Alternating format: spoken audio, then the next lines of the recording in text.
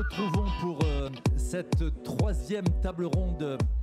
Nous sommes toujours euh, en direct, euh, 50 ans d'engagement dans la formation professionnelle. Et demain, euh, vaste sujet que nous abordons sous différents angles depuis le début de, cette matinée.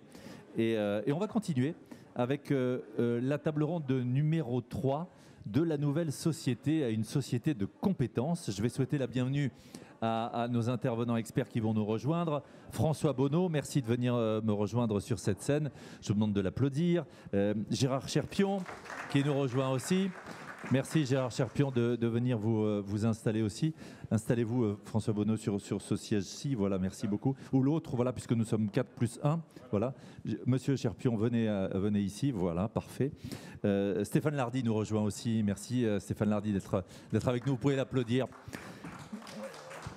Et Franck Morel, merci euh, Franck Morel d'être voilà parfait, merci d'être euh, d'être avec nous.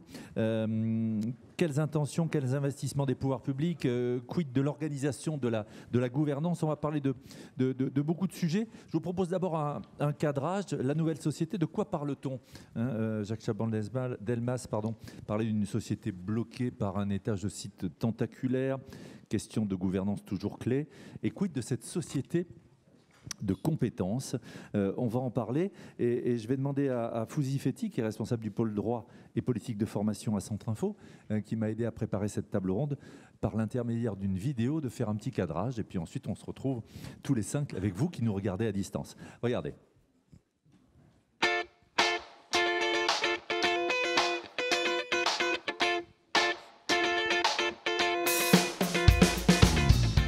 De la nouvelle société à la société de compétences. Deux visions politiques séparées par 14 réformes en l'espace de 50 ans.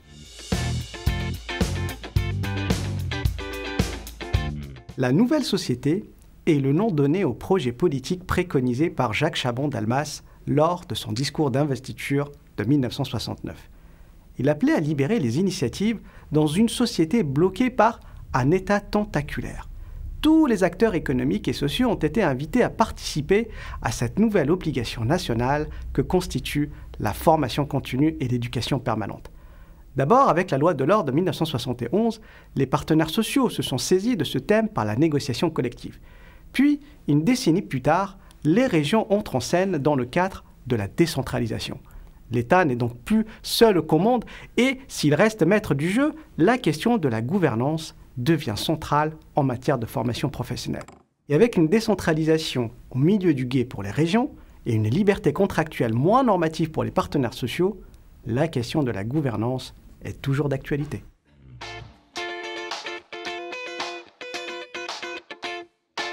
La société de compétences est une expression que l'on retrouve dans le titre 1 de la loi Pénicaud de 2018. Cette dernière réforme porte une vision pragmatique de la formation professionnelle. Elle l'a réduit à son caractère instrumental, à savoir l'acquisition de compétences requises pour l'exercice du travail. Il faut dire que la notion de compétence s'est progressivement imposée dans le discours politique et managérial depuis une vingtaine d'années. La consécration de la notion de certification professionnelle intervient en 2002 avec l'instauration du RNCP, le répertoire national des certifications professionnelles. À partir de cette date, le système de certification des personnes vise à renforcer les capacités et les compétences des individus à maintenir leur employabilité ou trouver un nouvel emploi. On est employable si on est certifié. Cette représentation épurée de toute référence à la formation sociale et civique est devenue la norme de notre modèle pédagogique des compétences.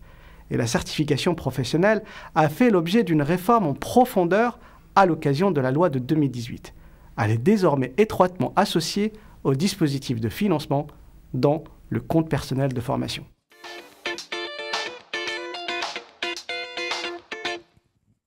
Voilà ce cadrage euh, qui nous était proposé par euh, Fouzi Fetti. Alors, euh, je vous propose euh, diverses séquences sur lesquelles vous allez pouvoir intervenir, vous qui êtes, ici avec nous pour cette table ronde. Première séquence, euh, 50 ans de réforme. Les objectifs de la loi Delors sont-ils encore d'actualité. On va en parler avec, euh, vous, euh, tout d'abord, Gérard Charpion. Merci d'être avec nous, député de la deuxième circonscription des, Vosges. C'est votre sujet, hein, l'orientation, la formation professionnelle tout au long de la vie. Dieu sait qu'on on, en a parlé, auteur et rapporteur de, nombreuses lois, en particulier la loi pour le développement de l'alternance et la sécurisation des parcours professionnels. Alors, j'allais dire 50 ans après, objectif toujours d'actualité. Qu'est-ce qu'on retient de ces différentes périodes successives et de ces lois successives? 50 ans, 50 euh, ans de formation professionnelle, c'est peu et c'est beaucoup. je crois que c'est surtout intéressant, c'est de... Est-ce qu'on peut mettre un peu plus de gain dans les micros de nos intervenants, s'il vous plaît? Merci. C'est de, de, voir l'évolution qu'il y a pu y avoir. Euh, finalement, euh, la loi de l'or, c'est l'instauration réelle, pratique et pragmatique du dialogue social. Et, ça a permis effectivement de, de former et d'amener des gens à la formation par ce qu'on appelait d'ailleurs à l'époque les cours du soir c'était une, c'était une, les cours du soir. Et les cours, avec les cours du soir, euh, on, gravissait l'ascenseur, l'escalier social. C'était, c'était véritablement un engagement. Je connais beaucoup, on connaît On complétait la formation initiale. On complétait, une formation, on complétait une formation initiale ou on rattrapait une formation initiale qui avait, été, qui avait été défaillante. Et je pense que euh, cette loi, si, on peut dire qu'elle n'est pas aboutie, puisqu'en fait aujourd'hui encore, on se pose on se pose les mêmes questions. Pour autant, ça a été un pilier central et fondamental de, l'évolution de la formation professionnelle dans notre dans notre pays. Alors ensuite, et vous l'avez, ça a été rappelé, 14 lois successives avec euh, parfois des des avancées, parfois des, retours, parfois des, on repart vers, euh, à, nouveau vers d'autres systèmes. Et quand j'entendais le, débat précédent, je me disais, mais on a entendu déjà ça il y a quelques années, euh, avec euh, finalement des mots peut-être un peu différents, mais finalement les, choses sont les mêmes, les problèmes restent, restent sensiblement les mêmes. Alors oui, la, loi, la loi de l'or ont été, ont été extrêmement importantes, les réformes ont extrêmement importantes. La réforme de 2018, pour moi, est une réforme qui a été euh, plus euh, en, termes de financement qu'en termes de, modification réelle de l'ensemble du système merci à vous. Franck Morel, merci d'être avec nous. Vous êtes euh, maintenant avocat associé au cabinet Flichy-Granger, conseiller de quatre, ministres du Travail de 2007 à 2012, euh, conseiller aussi auprès du, Premier ministre Édouard Philippe sur ces questions de relations sociales. Euh, vous avez contribué à une quinzaine de réformes, donc votre, éclairage et votre regard sera important. 50 ans après, objectif toujours d'actualité, je pose la, même question. Qu'est-ce qu'on retient de ces, lois successives auxquelles vous avez participé, pour lesquels vous avez contribué? Alors, 50 ans après, on peut dire, comme l'a dit euh, Gérard Cherpion, effectivement, qu'en large part, euh, beaucoup des objectifs euh, qui étaient poursuivis par la nouvelle société et ce qui a été initié à travers la nouvelle société sont encore d'actualité, mais que pas mal de chemin a été fait quand même. Et si vous me permettez, je voudrais euh, mettre un coup de projecteur sur un certain nombre de choses qui ont été. Voilà, parce que on va parler de l'avenir et il faudra parler de l'avenir, mais l'avenir est aussi, euh, je dirais, inspiré par le passé et par un certain nombre de processus qui ont, été, qui ont été initiés. Une chose qui est importante dans la nouvelle société, les deux mots sont importants, nouvelle société, c'est-à-dire à l'époque, la réponse du Premier ministre, Jacques Chaban-Delmas, euh, c'était de changer de méthode, changer de manière d'aborder un certain nombre de problèmes sociaux qui se posaient. Et la grande nouveauté, c'était effectivement de trouver euh, un nouvel espace, de donner un nouvel espace à ce qu'on appelait à l'époque, aujourd'hui on emploie plus tellement ce terme, la politique contractuelle, c'est-à-dire en réalité l'espace donné aux partenaires sociaux. Quand on regarde un petit peu dans le rétroviseur et qu'on prend comme seul indicateur, il y en a sans doute beaucoup d'autres, mais comme seul indicateur le nombre d'accords collectifs qui sont signés en ce moment depuis dix ans à peu près, hein, et le nombre d'accords collectifs qui étaient signés à l'époque, on se rend compte qu'un bond phénoménal a été franchi. Et en large part, en très large part, ce bond phénoménal qui a été franchi, prendre un exemple, vous aviez, si je prends les accords d'entreprise, dans les années 70, le nombre d'accords d'entreprise se comptait en centaines. C'était quelques centaines. Aujourd'hui, le nombre d'accords d'entreprise, c'est plusieurs dizaines de milliers, c'est pas loin de 100 000 par an. Hein. Euh, et donc, ça a déverrouillé. Ça a déverrouillé. Et la place du dialogue social, la place de la négociation collective, il y a encore beaucoup à faire. Je ne suis pas en train de dire que tout va pour le mieux dans le meilleur des mondes, mais la place du dialogue social s'est largement accrue, en large part du fait du mouvement initié par la nouvelle société de Jacques Chaban-Delmas. Un autre aspect, plus euh, au niveau macro, euh, c'est euh, une méthode aussi, cette fois au niveau national, de mise en mouvement d'un certain nombre de réformes par, je dirais, une, organisation de la relation entre les accords nationaux interprofessionnels, l'intervention des partenaires sociaux au niveau national et l'intervention du législateur. On a eu plusieurs années après euh, la loi euh, Larcher, 31 hein, janvier 2007, qui a institutionnalisé une méthode hein, en la matière, qui ensuite a été euh, largement utilisée une quinzaine de fois. Hein. Il y a eu une quinzaine d'applications de la loi Larcher, mais là aussi, c'était quelque chose de très innovant à l'époque, de se dire, ben voilà, on va effectivement relayer et organiser le dialogue entre les partenaires sociaux au plan national et les législateurs, avec, dans un certain nombre de cas, la transposition euh, alors, fidèlement, pas fidèlement, il y a, débat, il y eu débat par la suite, hein, euh, souvent d'ailleurs, hein, euh, mais en tout cas la transposition d'un certain nombre d'éléments d'accords nationaux interprofessionnels. Donc ça, c'est le premier point. Ensuite, sur le sujet proprement dit, formation professionnelle. Ce qui était totalement innovant dans le processus initié par la nouvelle société, et Gérard Cherpion l'a dit tout à l'heure, c'est le droit, l'accès à la formation professionnelle continue pour les travailleurs. Donc c'est la possibilité de se former, les fameux cours du soir, hein, entre guillemets. Hein. Aujourd'hui, on n'utilise plus tellement là aussi ce terme de, de cours du soir. C'était déjà le tout au long de la vie. C'était déjà tout le tout au long, de, la journée. Et donc, alors, est-ce que euh, les objectifs euh, poursuivis à l'époque par la nouvelle société euh, sont toujours d'actualité? Oui, ils sont toujours d'actualité. J'y reviendrai tout à l'heure quand on parlera effectivement de, de l'avenir, parce qu'il il y a encore du chemin à faire. Mais on a quand même donné corps au gré des différentes réformes euh, qui se sont euh, poursuivies.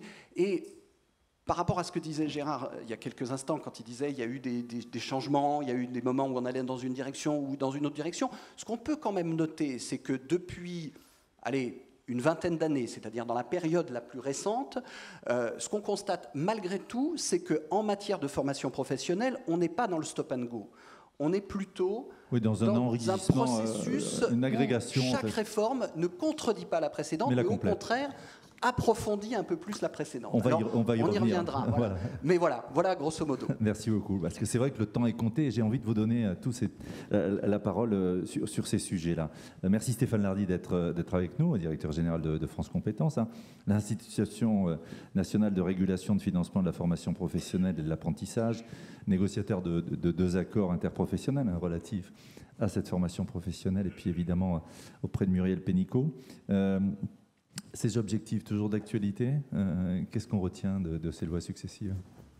Bah, si, vous, si vous reprenez le, discours de, Jacques Chabon-Delmas lors de la présentation des, quatre lois, puisqu'il y eu quatre lois en 71 en fait, hein, il, parle de deux choses. Il parle de l'éducation permanente et pour et avec deux objectifs qui sont, il, appelle, il parle d'expansion économique, c'est-à-dire qu'il faut euh, former des, travailleurs euh, qualifiés, euh, et il parle également de progrès social.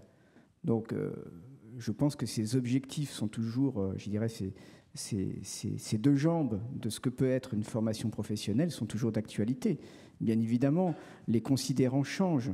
lorsque Jacques Chaban-Delmas fait son discours euh, en juin 71. Euh, il n'y a pas encore le choc pétrolier, le, chômage augmente un peu, mais euh, je pense qu'on rentre sur la question de, du, progrès, enfin de l'expansion économique. On est dans une logique où il faut requalifier les salariés. Voilà, on a quand même vécu à la fin de l'après-guerre un processus de déqualification des travailleurs parce qu'on est dans dans un système très de, de production de masse pour répondre à une consommation de masse. Donc euh, voilà. Et donc là, on rentre dans une mécanique où effectivement, euh, à l'époque, euh, le gouvernement et le législateur se disent il faut que nous ayons pour répondre aux, prémices de la mondialisation, avoir des salariés qui sont mieux qualifiés. Et après, il y a toujours l'aspect du progrès social, c'est-à-dire que le progrès social, c'est la logique, lorsque je me forme, la logique de, promotion sociale, d'émancipation sociale, et qui est toujours euh, porté par euh, euh, que ce soit les gouvernements ou les partenaires sociaux lorsqu'ils signent leurs accords. Donc je dirais que les, fondamentaux de la loi, bien évidemment, ils sont. Alors c'est pas le, risque, c'est le risque de l'horizon qu'on n'atteint jamais. Hein.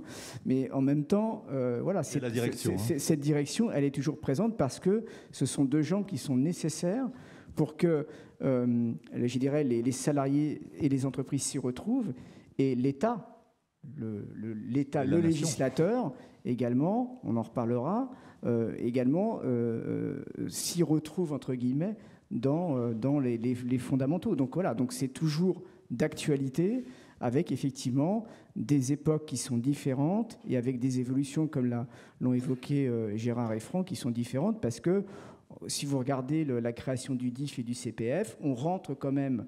Il y a des logiques sociétales qui sont en jeu. Et effectivement, les demandes des individus, des personnes ne sont plus les mêmes. On a des gens qui sont mieux éduqués, qui sont mieux éduqués. Euh, et donc, la personnalisation des droits, elle est beaucoup plus forte. Et la, création du DIF de, à partir de l'accord de 2003 jusqu'à l'accord de, 2018 et la loi de 2018 montre qu'il y a une logique de personnalisation des droits. On passe vers d'un droit individuel à un droit qui devient de plus en plus personnel, même si je pense que tout n'est pas encore euh, on n'est pas allé jusqu'au bout de la personnalisation des droits. Mais donc, euh, ça montre effectivement objectifs les mêmes, avec des enjeux économiques et sociétaux qui sont le reflet des époques. Oui, c'est ça, exactement. Et donc cette individualisation qui est rendue possible en particulier par ces évolutions technologiques euh, qui permettent d'éviter l'intermédiation. On y reviendra tout à l'heure. François Baudon, merci d'être avec nous. Vice-président de, l'ex-SNEFOP, vous avez siégé au conseil d'administration de, de France Compétences. Euh, président de la commission éducation, euh, orientation, formation, emploi chez Région de France et, président de la région Centre-Val de Loire. Euh, le regard, le décryptage 50 ans après tout d'abord, il ne faut pas, faut pas le passer sous silence. C'est trois ans après 68. Je ne dis pas ça par rapport à 68, je dis ça par rapport à, dans le contexte. à ce qui a été exprimé en 1968, c'est-à-dire la nécessité d'avoir moins directement, moins fortement sur ces, tous ces problèmes de société, une tutelle et une normalisation par l'État, un espace de dialogue entre partenaires sociaux. Donc ça, c'est euh, ce fondamental. Et on est, on est euh, dans la dynamique quand même encore des Trente Glorieuses. On est dans la dynamique des Trente Glorieuses. On n'est pas du tout sur les étapes qu'on connaît après, qui sont les étapes euh, de la fragilisation, du chômage de masse, etc. etc. On est aussi, et c'est là où il y a une vraie intuition de tout cela. On est dans quelque chose qui dessert une centralisation pour, euh, amener à, des libertés plus grandes, à des droits plus forts, à une égalité renforcée. Là aussi, c'est le message de 68. Et on est dix ans avant les lois de décentralisation.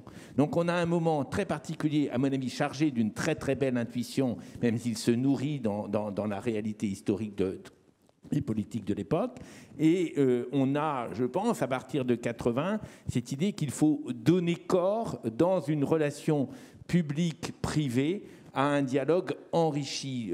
71, euh, on, sent la prégnance très forte des partenaires sociaux qui veulent prendre de la responsabilité, mais l'acteur public, on essaie de s'en distancer quand il s'appelle l'État. Et on a nouvelle phase, 81. Et après, bien évidemment, le chômage de masse, la euh, montée en responsabilité des régions dans cela. Alors, plus au départ par rapport à la problématique du, chômage, mais quand même globalement, carte des formations, orientation d'une certaine manière de tout ce dispositif. Et, toujours, euh, par rapport à la notion de, compétence, toujours cette, cette hésitation, qu'est-ce que l'on travaille véritablement? La question est posée aujourd'hui. Est-ce qu'on travaille des compétences fondamentales, transversales, voire des savoir-être? Des dispositions à acquérir une formation tout au long de la vie Ou est-ce qu'on travaille sur des compétences très définies dans un répertoire, etc. On est sur ce balancement. le sujet de ces soft skills, de ces compétences techniques. Mais, c'est aujourd'hui un problème. Il y a beaucoup a été fait. Moi, je rejoins ce qui a été dit, mais en même temps, on a tout à faire.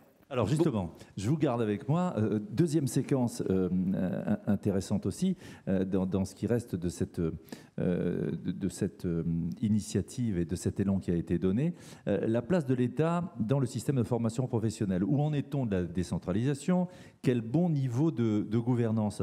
François Bonneau, bien placé pour y répondre. Oui, euh, on est euh, vraiment au milieu du chemin avec, euh, je ne suis pas sûr, je suis pas sûr de pouvoir dire aujourd'hui que la perspective a été permanente d'une vraie décentralisation. On a eu des avancées considérables.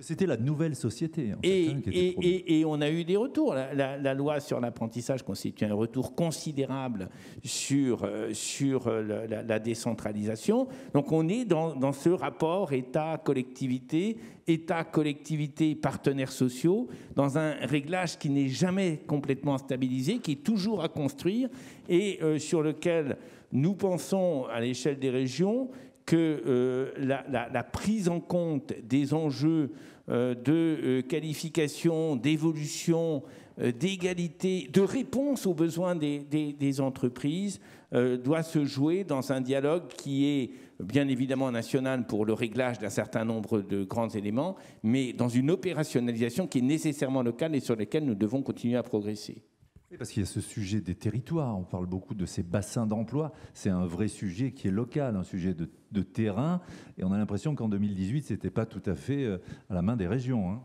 Non, c'était pas, pas le printemps des régions, c'est clair. Euh,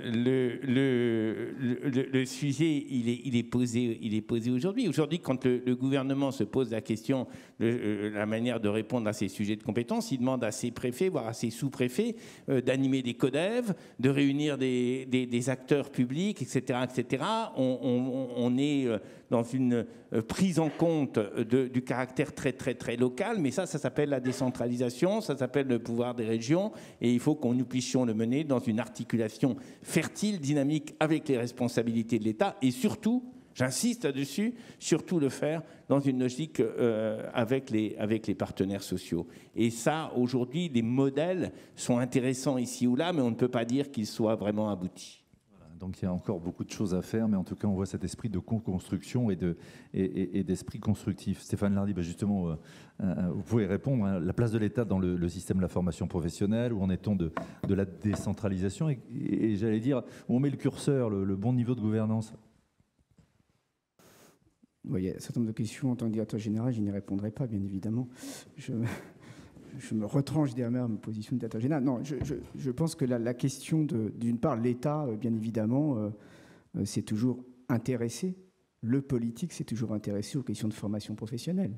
C'est un sujet, bien évidemment, Sociétal hein. euh, Oui, c'est un sujet, euh, bah, c'est un sujet fiscal. la loi Astier sur la, fixe la taxe d'apprentissage. c'est un sujet sociologique, c'est un sujet économique, c'est un sujet juridique. voilà. Donc, bien évidemment, les pouvoirs publics ou la représentation de l'État, forcément, c'est un domaine qui, par définition, est partagé. Il a toujours été, d'ailleurs. Il n'y a pas de, il a pas de politique. Alors, les politiques étaient plutôt étatiques à un moment donné et revient effectivement avec notamment l'accord de 70, politique qui devient. Enfin, Jacques Chaban-Delmas dit il y a l'État souverain, il y a l'État partenaire. Voilà. Et donc, en fait, on est, et donc le, sujet. Euh, et puis, il y, a des, il, y a, des oscillations entre des différentes lois qui, où l'État va être plus euh, au rôle de l'État souverain, ou plus l'État partenaire. Et donc, je pense qu'on est. Euh, la question qu'il faut, que, à mon sens, on peut se poser, au-delà des questions de gouvernance, je pense que la question des gouvernances la question de la gouvernance, elle doit se poser après les, sujets de fond. Après, on pose des questions de gouvernance, mais on ne pose pas d'abord les questions de gouvernance, enfin, à mon sens. Euh, c'est dire que c'est quoi le rôle du national sur nos sujets? Voilà. C'est quoi le rôle du national? Quel doit être le rôle de. On parle beaucoup de la question de la régulation. Qu'est-ce que l'État, les pouvoirs publics régulent?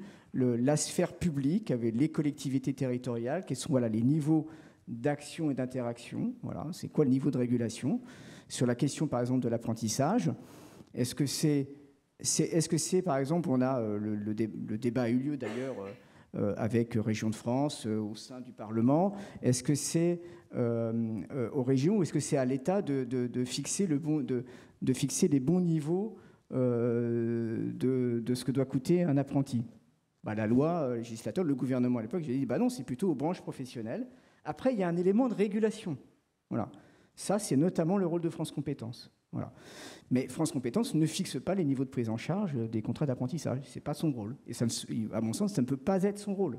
Voilà. Ce n'est pas au niveau national qu'on fixe. Voilà. Après, il y a un rôle de régulation. Donc, euh, il faut trouver un moment les bons niveaux de régulation et les lignes de, partage et de coopération entre les différents acteurs, euh, que ce soit les collectivités territoriales, les enjeux de territoire, euh, les partenaires sociaux qui ont une compétence qui, d'une part, ont une légitimité historique euh, sur les sujets de formation, voilà, euh, et une compétence légale. mais elles ont d'abord une compétence historique sur les sujets de formation professionnelle. Euh, quand vous reprenez la création des bourses du travail, alors ça se fait en dehors de l'entreprise d'ailleurs. Hein, c'est le vieux débat de est-ce que la formation doit être dans l'entreprise ou pas dans l'entreprise. On en parlait tout à l'heure. Hein. Quand vous parlez des bourses du travail, la, question de, qui va devenir de l'éducation permanente, c'est de dire je vais former le travailleur à des sujets économiques, juridiques, mais à l'extérieur de l'entreprise, qui est à l'époque qui est considéré comme un lieu de domination. Voilà. Donc et donc voilà, c'est ces sujets. Donc il y a le niveau national, il y a les structures, les, collectivités territoriales, l'État, les partenaires sociaux. Et je pense que, par exemple, vous avez dû en, parler au cours de cette matinée, la question des reconversions ou des transitions, qui est un sujet qui n'a pas été euh, euh, forcément euh, bien traité, entre guillemets, par, la loi, ou pas traité. la sujet, les transition est, à mon avis, un sujet qui est un sujet national, mais qui doit se poser et qui se pose actuellement sous différentes formes mais qui, à mon, avis, doit être retravaillé aussi, euh, avec, c'est du quadripartisme territorial. Forcément, pour moi, c'est du quadripartisme territorial. Donc voilà, euh, euh, on est toujours effectivement à la recherche de cet équilibre qui, par nature n'est jamais parfait. Mais je pense qu'il faut se poser les, les, questions des que fait le niveau national et quels sont les bons enjeux de régulation entre chacun des niveaux et avec les, les relais, coordination entre tous les acteurs.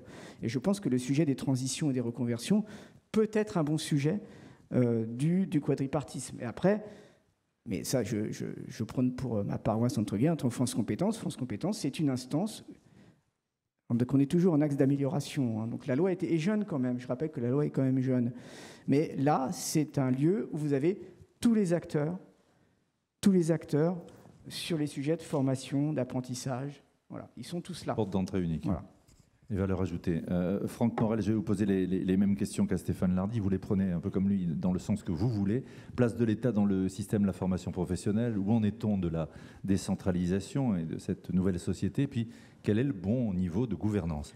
Alors, moi, je, souscris complètement à ce qu'ont ce dit François Bonneau et, et, Stéphane Lardy, à savoir que on est dans un système qui, structurellement, est forcément un système sur lequel l'ensemble des acteurs, les trois acteurs qu'on vient d'évoquer, à savoir les régions, l'État, les partenaires sociaux, leur place. Après, il y a une question et ont une légitimité pleine et entière à avoir leur place. On a évoqué, hein, euh, François Bonneau et Stéphane ont évoqué euh, euh, les tenants et les aboutissants de cette légitimité, sur quoi se fonde cette légitimité et quels sont les domaines sur lesquels ces différents acteurs sont les plus efficaces pour intervenir? On entend souvent dire que, et, on a raison de le dire, que les mécanismes en matière de formation professionnelle ne brillent pas par leur simplicité et leur facilité d'accès. Et l'une des raisons de cette complexité, qui n'est pas qu'apparente, qui est réelle, c'est aussi parce qu'effectivement, on doit composer et, on doit le faire de la manière la plus efficace possible entre ces trois légitimités et ces qui, ont chacune leur place et ces trois interventions de chacun des acteurs ça explique, Stéphane évoquait tout à l'heure le dispositif Transco et euh, notamment tous les débats autour de l'efficacité euh, réelle ou, euh, je dirais, plus critiquée du dispositif Transco. Une des raisons des critiques qui sont adressées en, direction et de, l'impact, je dirais, relatif du dispositif Transco, c'est notamment sa complexité et l'intervention croisée, effectivement, à travers différentes logiques de différents acteurs. Alors, comment on en sort? J'ai pas évidemment ce matin de baguette magique. comment on trouve le bon équilibre Comment hein. on trouve le bon équilibre Et j'ai pas de baguette magique en vous disant, euh, comme je l'entends parfois, oh ben c'est très simple, il suffit que de tout donner à l'un des acteurs. Évidemment que ça n'est absolument pas la solution et un mécanisme de ce type serait pire, produirait des effets pires, parce qu'on perdrait précisément toute la légitimité euh, qui est euh, de la part de chacun, qui existe de la part de chacun des acteurs. Donc moi je pense qu'il euh, faut être pragmatique sur un tel sujet. On a su être pragmatique au fil des ans. Et on a su le faire à travers un certain nombre d'évolutions qui peuvent prêter à débat. François Bonneau évoquait tout à l'heure l'apprentissage. moi, je, pense que, alors évidemment, c'est assez logique que je dise ça, qu'on a eu raison, effectivement, en matière d'apprentissage, d'aller dans la direction qui a été celle de la loi de 2018, c'est-à-dire de se fonder sur euh, le, je dirais le, lien qu'ont les partenaires sociaux avec la connexion avec le monde économique et social et la capacité, ce qu'évoquait Stéphane Lardy, de fixer un certain nombre d'orientations et notamment les fameux prix de coût-contrat en matière d'apprentissage, qui est l'un des éléments de, euh, hein, du, nouveau système. Mais pour autant, je pense qu'il faut être pragmatique et se poser la question en fonction des évolutions auxquelles nous nous sommes confrontés, du bon niveau de régulation et de la bonne place de chacun des acteurs sur le système. Je vais vous donner un exemple. Euh, tout à l'heure, euh, Elisabeth Thomé évoquait, euh, mais il y avait plusieurs personnes qui l'ont évoqué, hein, je me souviens qu'Elisabeth l'a évoqué, la question de ce que j'appellerais la GPEC de la nation la capacité, effectivement, à être capable, au plan macroéconomique, hein, de se projeter dans l'avenir et de tracer la cartographie des besoins en compétences sur tel ou tel secteur. On voit bien sur un sujet comme celui-là, sur lequel on a encore du grain à moudre. On voit bien que l'exercice n'est pas encore euh, véritablement abouti, qu'on a des vrais besoins. Et on voit bien que si on laisse de côté soit les partenaires sociaux à travers les observatoires et à travers le travail qui peut être mené dans les branches, ce qui, soit dit en passant, repose peut-être aussi à nouveau la question de la restructuration des branches, qui est un, sujet euh, ancien, récurrent et toujours d'actualité. Euh, mais si on nommait cet aspect, on va passer évidemment à côté d'une dimension euh, centrale du sujet. Mais en même temps, dans le même temps, l'État État stratège est pleinement légitime pour organiser aussi cet exercice et mettre dans, dans, le pot de la réflexion un certain nombre de données qui peuvent venir de l'appareil d'État. Ça, c'est au niveau macro. Au niveau terrain, ensuite, quand on va redescendre dans l'exercice, il est évident que les régions, par leur connaissance, et les bassins d'emploi, par leur connaissance très fine du maillage entre les besoins des entreprises et puis euh, la manière dont les différentes, euh, je dirais, manières de répondre à ces besoins sont organisées, seront les mieux à même de faire ce maillage. Donc on voit bien sur un exercice de ce type, pour prendre cet exemple, que on, est obligé de composer avec l'ensemble des acteurs de manière complémentaire. Et voilà par exemple un chantier qui est devant nous. On a parlé du passé, euh, pour, pour commencer un petit peu à parler de l'avenir. Voilà un chantier qui me paraît essentiel et qui est encore largement devant nous. Merci beaucoup. Euh, votre avis, Gérard Charpion, euh, par rapport à, ces sujets de, décentralisation, de la place de l'État, le, bon équilibre à trouver? Oui, bon équilibre, il n'est pas facile à trouver. les dernières années l'ont largement, largement prouvé. Et, je, pense qu'effectivement, euh, l'État a une place, c'est évident. une place importante, à la fois en matière d'orientation générale, en matière de, volonté, politique sur le terrain, en matière également de, certification. Euh, qui, euh, au niveau national, il est évident que les diplômes, les certifications relèvent bien évidemment de l'État. Mais l'État doit rester et devrait rester, à mon sens, effectivement l'État stratège, c'est-à-dire donner effectivement les grandes, les grandes orientations. Ce qui doit se passer, c'est au niveau des partenaires sociaux, des entreprises, des branches. Et c'est à partir du moment où on aura effectivement cette véritable remontée du, terrain et, qui sera prise en compte au niveau supérieur, que nous arriverons à avoir un certain équilibre. bien évidemment, les régions sont, l'interlocuteur et l'intermédiaire le plus, important. Les régions ont cette capacité de connaître leur territoire à fond, de connaître les bassins d'emploi, de connaître euh, les besoins en emploi et, en certification des, personnes qu'ils ont euh, dans leur secteur. Donc il y a un rôle extrêmement important aux régions. Je, pense qu'il faut rester sur cette cet équilibre. Alors, on a eu du bipartisme, du tripartisme, du quadripartisme. Euh, où s'arrêtera-t-on?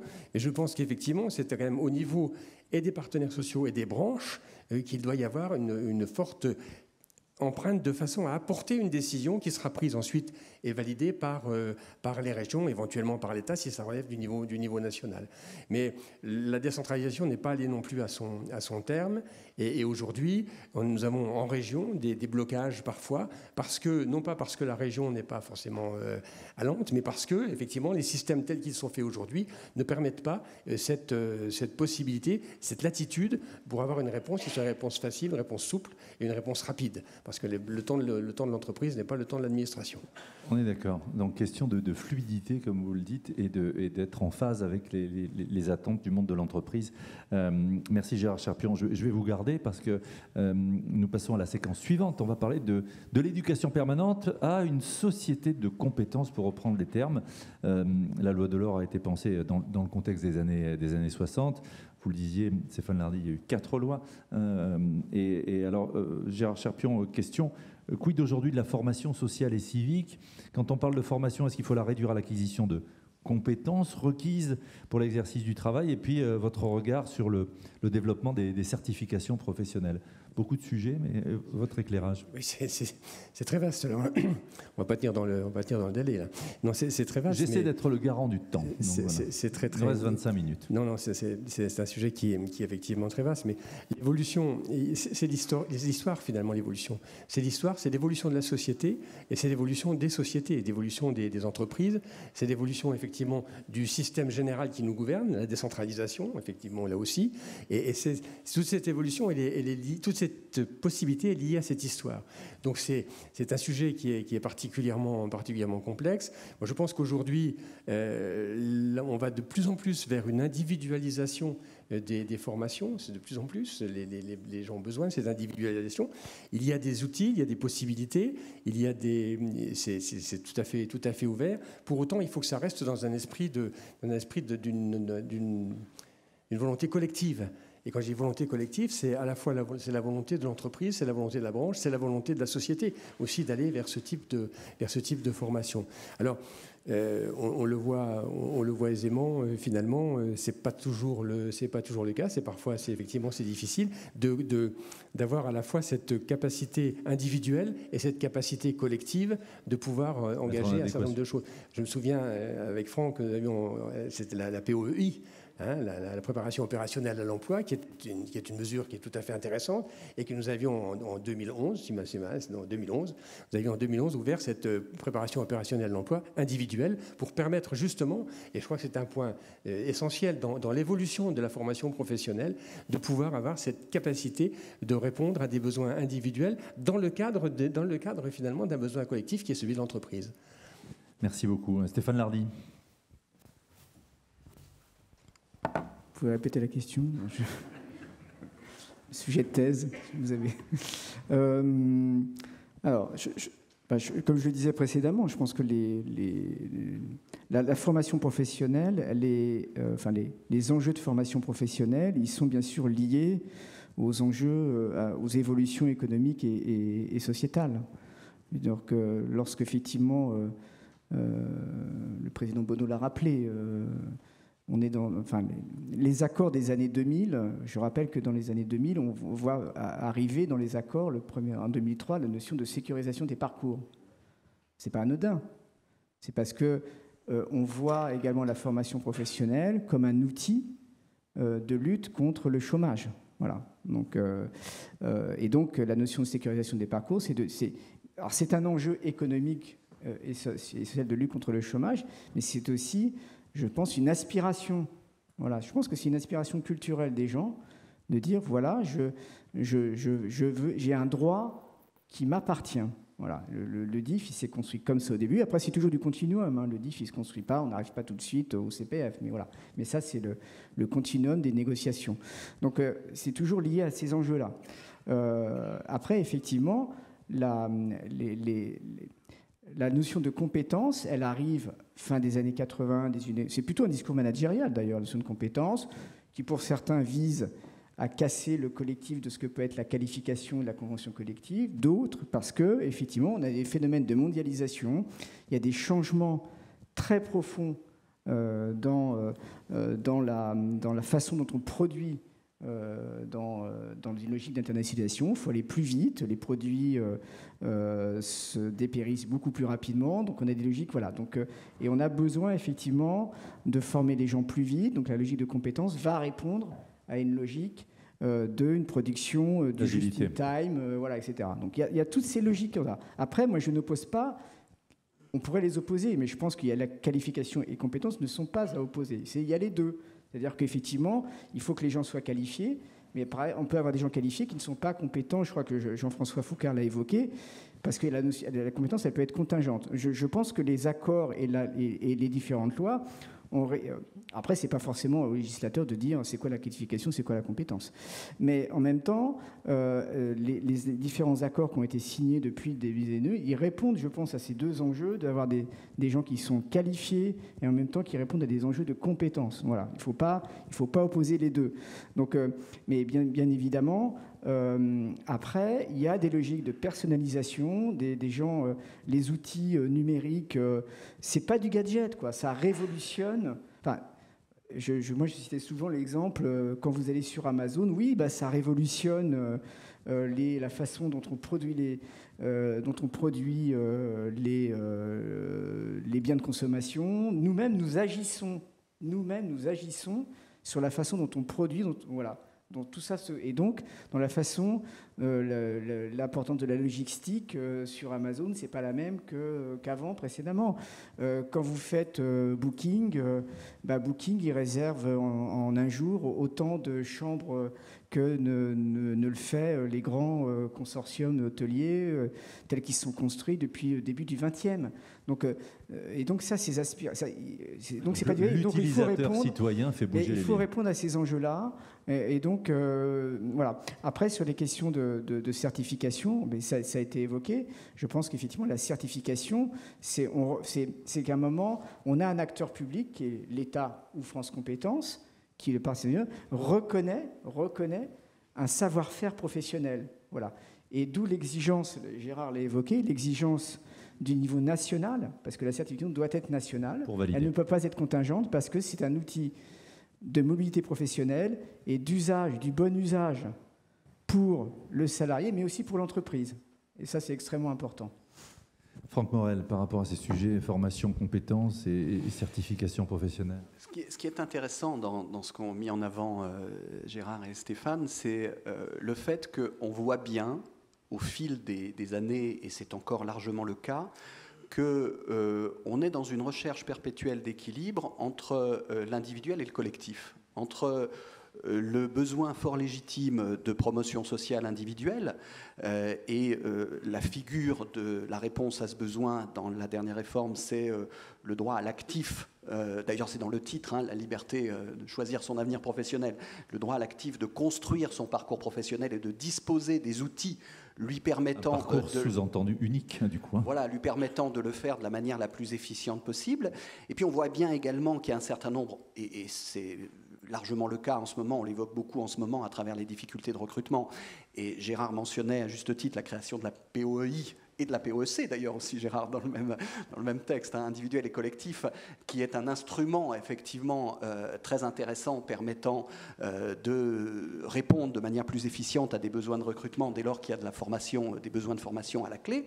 Euh, et donc on voit bien que tout l'enjeu, il est de trouver des réponses pour satisfaire ces deux besoins, et je suis complètement d'accord avec ce que disait Stéphane il y a quelques instants, quand il disait qu'il ne faut absolument pas les opposer, et qu'ils sont totalement complémentaires, parce que en réalité, on ne va pas gérer son parcours professionnel euh, en faisant fi complètement de l'état du marché du travail et de l'état des besoins qui peuvent exister par rapport aux débouchés potentiels de ce parcours professionnel. Et puis d'un autre côté, on ne va pas répondre aux besoins collectifs et organiser la réponse aux besoins collectifs en faisant fi totalement de l'appétence individuelle des différents acteurs à aller dans telle ou telle donc filière. Réflexif, hein. Donc effectivement, c'est un, un exercice qui se nourrit de la satisfaction de ces deux besoins. Et donc, on voit bien que les outils qui ont été bâtis au fil des ans, donc euh, dans le premier cas, euh, ça a été le DIF, puis ça a été le CPF première génération, puis le CPF euh, seconde génération, et puis dans le deuxième cas, il y a eu effectivement tout un tas d'outils permettant donc la POE en étant une des illustrations, mais il y a eu également plein d'autres outils qui permettaient de répondre à ça. On voit bien qu'on est encore là aussi, sur un équilibre qui est toujours en construction. Dans l'accord cadre euh, qu'évoquait euh, euh, la table ronde précédente, est mis en avant, s'agissant par exemple du CPF, et j'ai en face de moi l'intervenant de la CFTC qui mettait en avant les difficultés effectivement qui pouvaient exister sur certains types de, formations et de liens non avérés effectivement avec les besoins qui pourraient exister en la matière. Et on voit bien qu'on est dans un exercice qui est pointé dans l'accord cadre de tissage de liens, comment tisser le lien entre la construction fort légitime d'un parcours individuel et le fait de le faire quand même en lien avec les besoins de l'économie et les besoins en compétences de l'économie. Soit pas déconnecté. Hein, voilà. Et ça, c'est un exercice qui est encore, sur lequel on n'est encore pas arrivé au bout. Alors, euh, la loi de 18 a ouvert avec le, CPF Nouvelle Génération, a ouvert euh, une formidable possibilité aux actifs justement de nourrir ce parcours professionnel. Euh, dans une logique de balancier, peut-être effectivement un certain nombre de questions vont se poser sur le fait de mieux tisser ce lien. Alors il y a différents outils hein, qui pourront être mis sur la table dans cette, dans cette direction, mais je pense que la question est, est, devant nous. Merci Franck euh, Morel.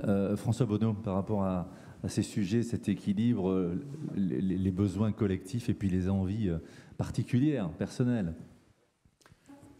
S'agissant de cette articulation dans le temps réel, entre euh, ce que peut porter une personne et puis euh, les besoins de l'économie. On vit euh, dans cette, dans cette période la mise en évidence à un niveau très élevé de cette réalité. Parce que les emplois sont bousculés, ils l'ont toujours été, mais un rythme, les métiers sont bousculés à un rythme très très vif, le numérique, la transition environnementale, etc. Puis on a, pardon de vous couper, l'effet Covid. Hein. C'est-à-dire que maintenant, j'ai envie de donner un sens à ma vie professionnelle et à ma vie tout court. Hein. Donc je vais être maître de tout ça. Hein. On a, on a ce, on a ce, sujet-là et les, les, entreprises, puisque les régions ont la compétence économique et euh, globalement une compétence en matière de formation professionnelle, spontanément, on est placé dans cette articulation emploi en tant qu'acteur public et politique, et les entreprises nous disent au quotidien, on a besoin de ça, etc. Ils n'ont pas forcément, euh, dans leurs questions, besoin d'une trajectoire, etc., de formation, ils ont des adaptations. Je, veux, à ce moment, glisser quand même un point. Ne faisons pas comme si euh, tous les jeunes et tous les salariés étaient égaux par rapport à tous ces sujets-là on a, et c'est le, le, drame depuis 71, en 71, il y a quand même une vision, un idéal d'égalité.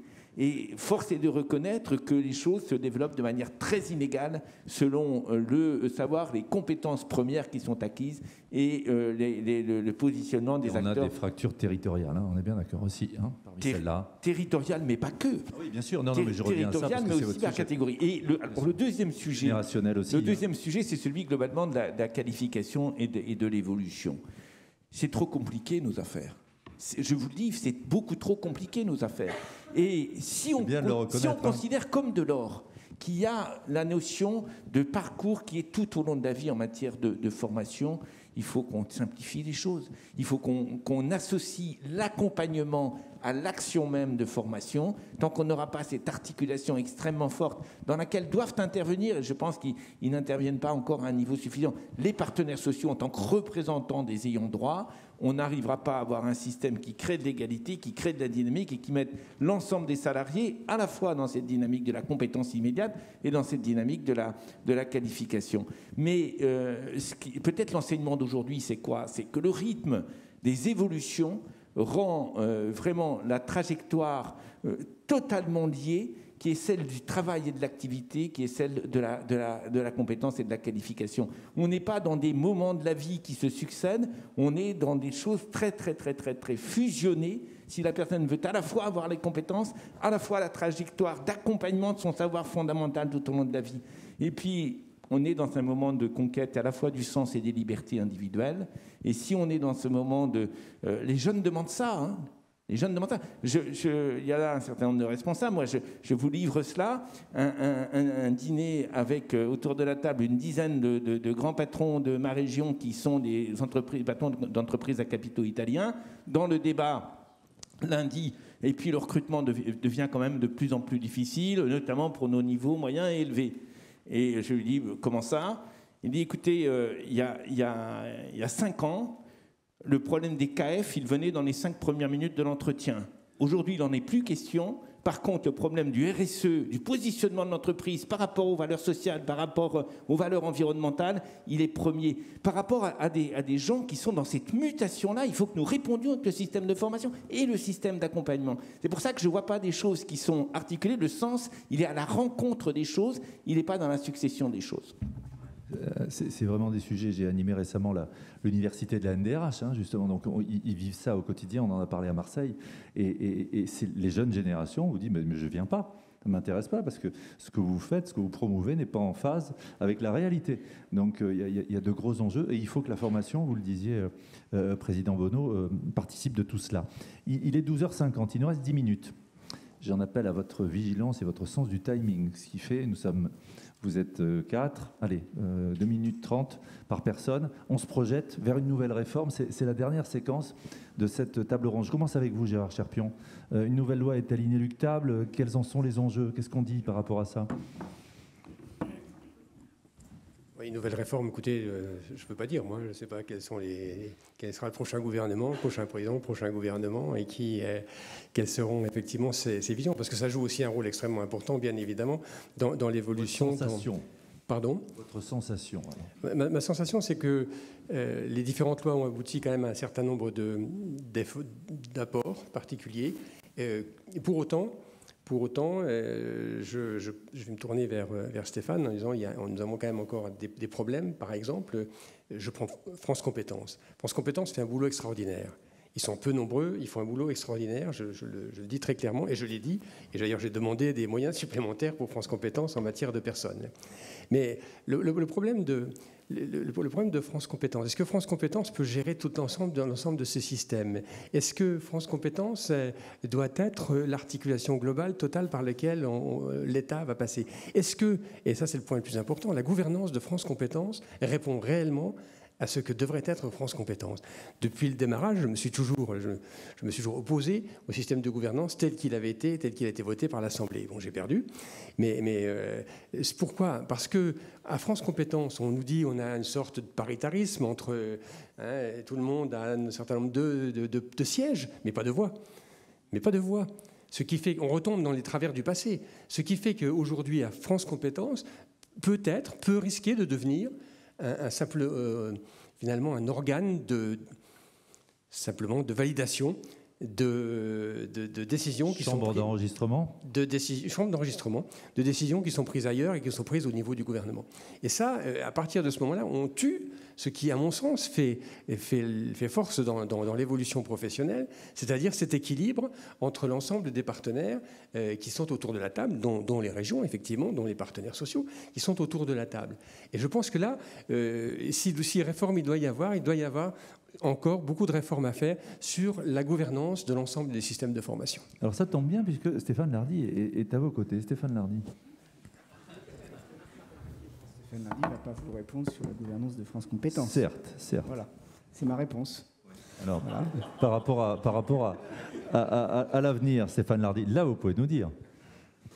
Bah, c'est pareil. Je, je, ah, Se relever de sourcil veut dire beaucoup de choses. Non, non, non, non, c'est un tic. Euh, euh, non, je, pense que la, enfin, il va bien évidemment, il va y avoir des.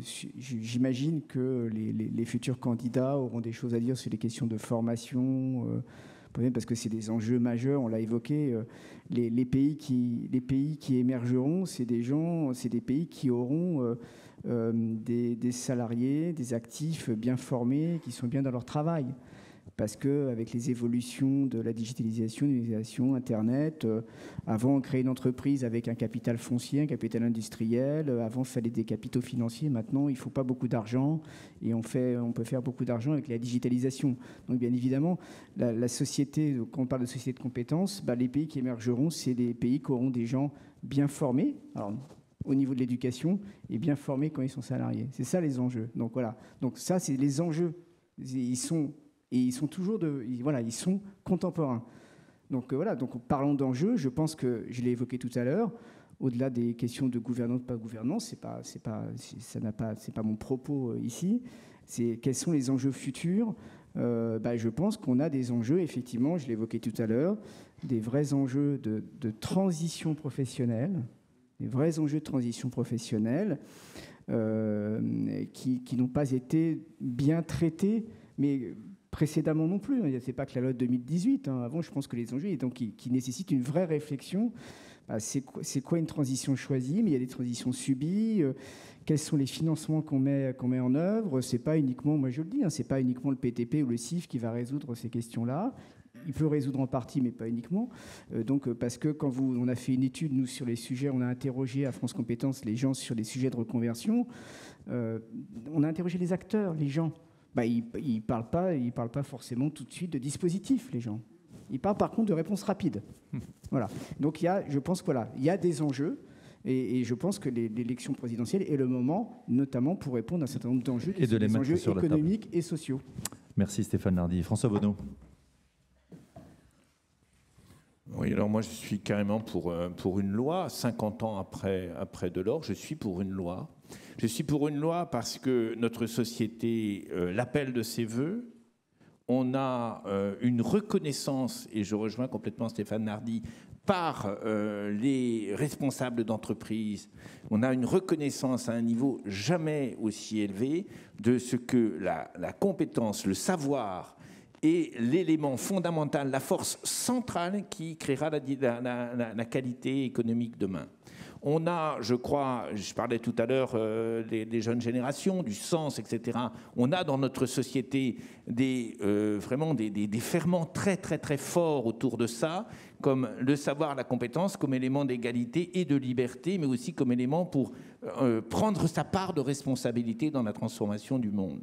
Et on a, euh, c'est là où la loi est indispensable, on a besoin de la confiance. Et je rejoins Gérard Cherpion, on a besoin que l'État fixe dans les négociations par une loi un certain nombre de choses et des modalités qui sont les modalités de la confiance, faire confiance aux partenaires sociaux, faire confiance aux, collectivités décentralisées et notamment euh, aux régions pour faire en sorte que se développe un système réactif, un système proche. Et je souhaite que cette loi soit ambitieuse, qu'elle pense enfin à l'articulation entre les, formations initiales de l'éduc, du supérieur, etc., et les formations tout au long de la vie. Moi, parfois, je suis terrifié quand je vois la difficulté que l'on a à faire bénéficier un jeune qui s'est cassé trois fois de suite le nez dans l'enseignement supérieur. Il est prêt à aller sur des formations qui sont des formations des demandeurs d'emploi, sauf qu'il n'est pas demandeur d'emploi, qu'il lui faut tout arrêter, etc. Donc une loi qui soit ambitieuse, qui, brise véritablement les, murailles qui se sont progressivement construites et qui mettent la confiance au, cœur du jeu. Voilà, ça dans l'humain et chez les DRH, ça parle, hein, déciloter, voilà, et, et puis essayer de réduire la, taille du millefeuille. Franck Morel,